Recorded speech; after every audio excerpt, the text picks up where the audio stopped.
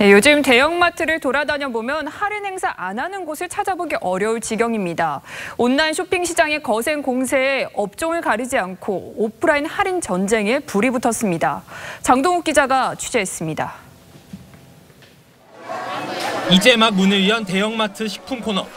한정 판매되는 5천 원 치킨을 사려고 줄이 길게 늘어섰습니다. 하루에 2만 통씩 팔렸던 9년 전 가격 그대로 다시 나왔습니다. 한 시간 더 기다려야 돼. 잘 안 먹는데 사고 싶은 그 욕망이 생기는 거죠. 소고기와 랍스터 등 고가 식재료들도 초특가 할인에 포함됐습니다. 경쟁 대형마트도 올해 초부터 반값 강화에 등큰 폭의 할인 행사를 이어왔습니다. 박리담회의 이윤마저도 쉽지 않습니다. 최저가 전쟁을 지금 이제 하고 있고 온라인 시장이 워낙 커지면서 오프라인을 기반으로 해둔 대형마트들이 이제 벼랑 끝에 서 있는 상황이라는 얘기죠.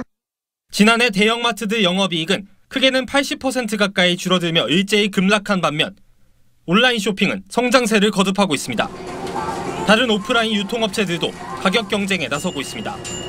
편의점에선 자체 물류망을 통해 가격을 낮춘 반값 택배까지 나왔고 한 배달 어플은 프랜차이즈 업체들과 함께 배달 음식 반값 행사에 들어갔습니다. 초저가의 일상화에 소비자 반응은 예전보다 무덤덤합니다. 돼야 되고 정말 이렇게 되지 뭐 2, 30%는 그런 건 기본하게 있으니까 가격은 낮을수록 좋지만 할인 경쟁에 주저하는 업체라도 생기면 장기적으로 그 부담이 소비자들에게도 이어지리란 우려도 나옵니다.